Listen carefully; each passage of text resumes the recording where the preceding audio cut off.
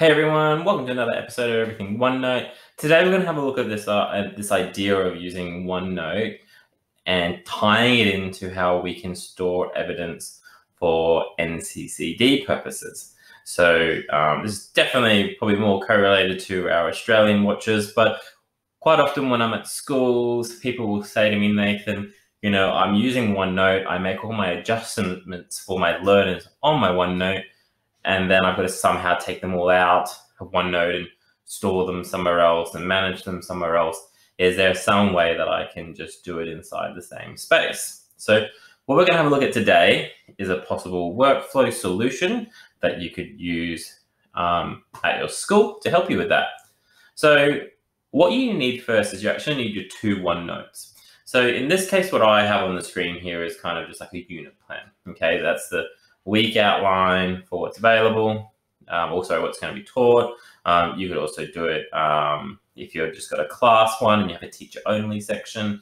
You could kind of manage it inside that space. It doesn't really matter because what we're going to look at doing is linking, and we're going to link to a second OneNote. So what you'll need to do is create a second OneNote, and you'll need to make that available in a space that you can share with the people that need access to it. So in this case, I've already gone ahead and created mine. If I click down here in the top um, left, I've created this one here called the NCCD notebooks. So I'm going to click on that one. And what I've already created here is a section group. So what you'll probably want to do, and obviously you can kind of structure this how you like, is name that section group. So I'm going to right click to rename, and I might go with something like a um, date range. Oops um, you know, 2019 to uh, 20, there we go. Okay, so that's going to give me that range in which I'm collecting the evidence in. And then what I'm going to do is I'm going to go down right down to the bottom left-hand corner here and go add section. And these are going to be my students. Excuse me. So what I'm going to do here is I'm going to um, type in the name of my student. So we're going to type in Joe Smith. Okay. And Joe Smith, you know, now has his own section inside that. And I can click to keep adding sections and these can be all my different students. Okay. And as I scroll through each one, I'm using those sections to add pages to to collect their evidence. So let's say that I'm a teacher, okay, and I'm setting up for the term, um, or more so for the year or the period of which this um, evidence needs to be collected. What I'm going to do is I'm going to access my NCCD notebook first. I'm going to go in and I'm going to find the student I make adjustments for. So I make adjustments for Joe Smith. So what I'm going to do is I'm going to right click on Joe Smith's name and I'm going to go copy link to section. I'm going to take that one and then I'm going to go back to the planning document that I'm using. So here's my planning document and here where it says student, I'm going to paste that link. Okay, it won't come up with like a URL link. It will just come up with whatever that document or whatever that section is called. So from here, I might have gone along here in my resources, um, or maybe here and even in adjustments.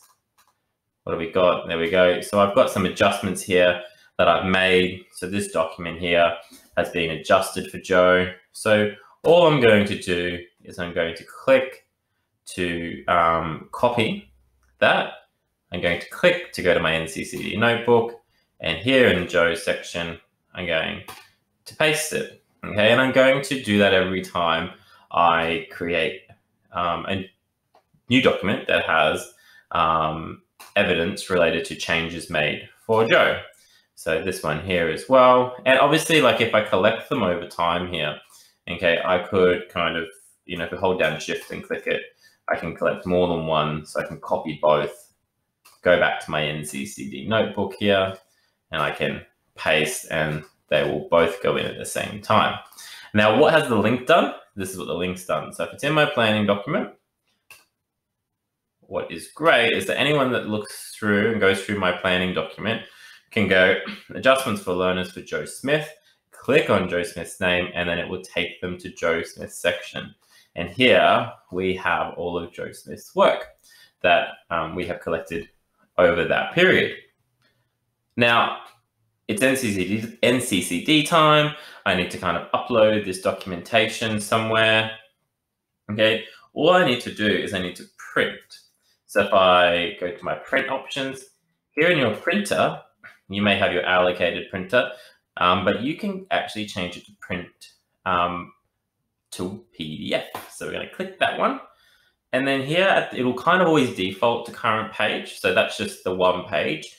But Joe has his own section. So what I can do is I can go, I actually want Joe's section. So because I'm, the first page is blank, but because I'm in Joe's section, what we'll notice as I scroll across, these are the pieces of work that we put in.